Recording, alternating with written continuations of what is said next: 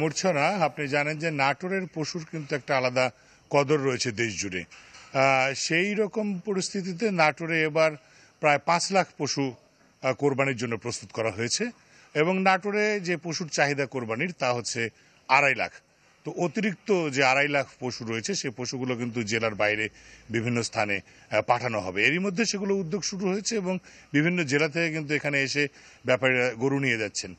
আর লক্ষণীয় বিষয় হচ্ছে, নাটোর জেলায় যেমন তিরিশ মন মানে বারোশো কেজি থেকে শুরু করে এর উপরের গরুও রয়েছে, ঠিক তেমনিভাবে সবচেয়ে কম দামের গরুগুলোও রয়েছে। আমি যে বর্তমানের যে খামারটিতে রয়েছি, এটা হচ্ছে হলো নাটোরের বড়হরিশপুরের মনোয়ারা খামার। এখানে আমরা দেখতে পেলাম এখানে এসে একটা বৈশিষ্ট্য, সেটা হচ্ছে এখানে ছোট গরুর সংখ্যা বেশি। প্রায় শতাধিক ছোট গরু রয়েছে, যেগুলোর দাম দুই থেকে পাঁচ লাখের মধ্যে।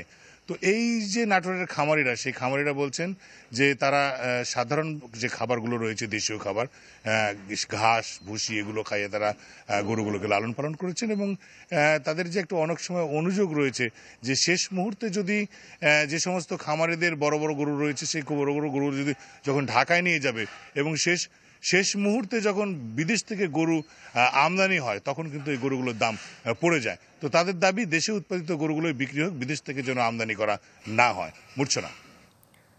দেবাশিস, আপনাকে ধন্যবাদ। দর্শক, নাটোর থেকে আমাদের সাথে যুক্ত হচ্ছিলেন সহকর্মী দেবাশিস কুমার সরকার।